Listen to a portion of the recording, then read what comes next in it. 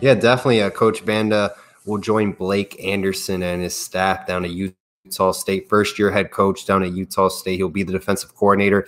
He's also taking some part time coaches with him to Utah State. Demarcus Van Dyke, who was a director of player recruiting with Coach Cooney at the University of Miami. He was a big factor in recruiting. Local guy, went to Monsignor Pace High School, went to the University of Miami. I think he was a third round pick to the Oakland Raiders as well, played in the NFL. So he'll be joining his staff. So will quality control analyst Mike Zuckerman and uh, defensive uh, director of player personnel Alex Devine as well. So definitely a big jump the question is for Miami, who will take over as the safeties position coach moving forward? Couple names have already came out that Miami may be pursuing. Nick Monroe, Syracuse safeties coach, who has strong ties specifically in the North Miami area.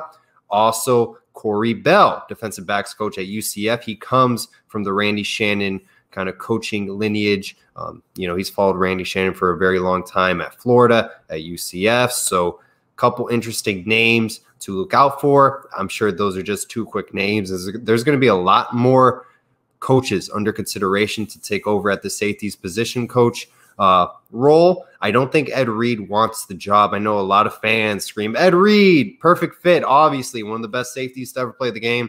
But ultimately, I don't think he's interested in taking that job. Yeah, Ed Reed certainly making his presence known and felt uh, in the program, uh, being that um, that um, bridge between the players and uh, the administration and doing a fine job and seems to make a big impact uh, in what he has done here uh, in the last season. Uh, considering the ridicule and the criticism directed toward Blake Baker uh, as defensive coordinator uh, this particular season, with the the Canes finishing with a much better record than they have in recent years, but the defensive side of the ball not being what it has been in terms of national rankings. Uh, do you have any thoughts about Blake Baker's performance? And if there is a possible change, you would have thought it would have already been forthcoming at this point.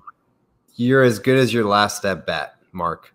Um, Blake Baker finished the season ending the last two games, giving up 99 points, 1,196 total yards of offense the past two games. Um, you know, we've allowed 233 passing yards per game this entire season, 174 rushing yards per game. We've given up 4.5 yards per carry.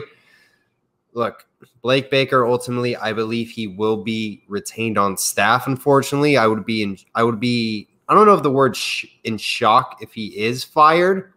I just think I would be surprised if he was let go. I don't think Manny Diaz is going to um, get rid of Blake Baker an interesting scenario I can see play out, Mark. There's a guy by the name, of Charlie Partridge. I, if you're familiar with his name, he was the defensive line coach at Pittsburgh currently. He was also the associate head coach there under Pat Narduzzi this past season.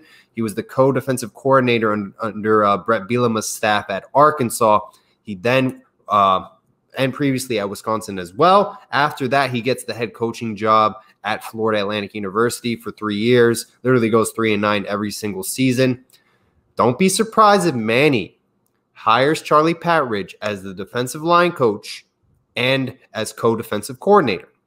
Remember, Todd Stroud, defensive line coach, he has a past history of, you know, of a medical illness, very serious issue, and the COVID-19 season has taken a humongous toll on him and his health, obviously, you know, with all the he has to be very uh cautious what's going on, you know, being around practice, players, traveling. You know, he's definitely someone who needs to be very careful.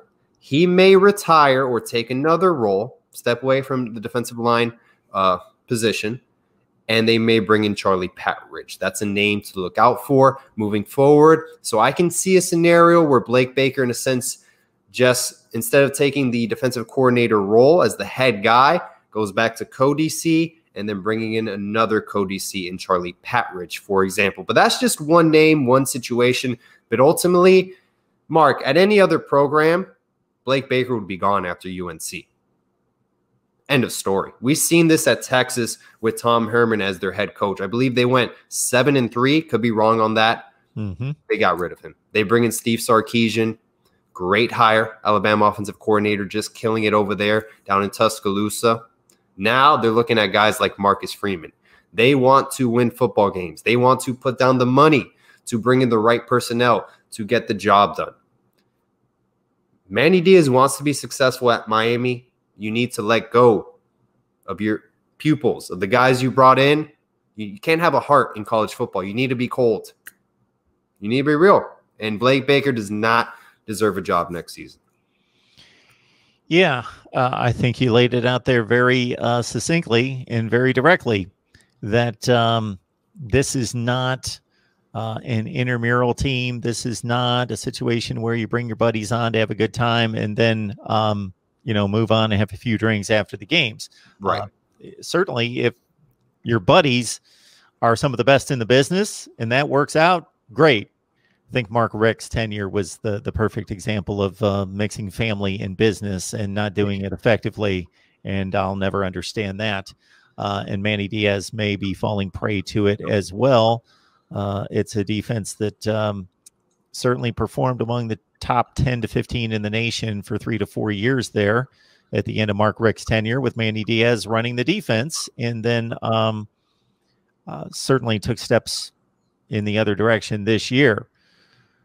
Yeah. And another example people are bringing up, Mark, is Al Golden with Mark D'Onofrio. Al Golden was the head coach. That was his good friend from Temple. I think uh, I could be wrong if they both went to Penn State together. Could be wrong on that. Mark D'Onofrio was actually a third round draft pick. Uh, you know, was a very successful college football player. Becomes defensive coordinator, and Al Golden just couldn't get rid of him whatsoever. Could not get rid of him. Did not would vouch for his buddy, and Al Golden actually got fired technically before Mark D'Onofrio. That's the funny thing. So, yeah, if you want to succeed in this game, you have to fire your close friends.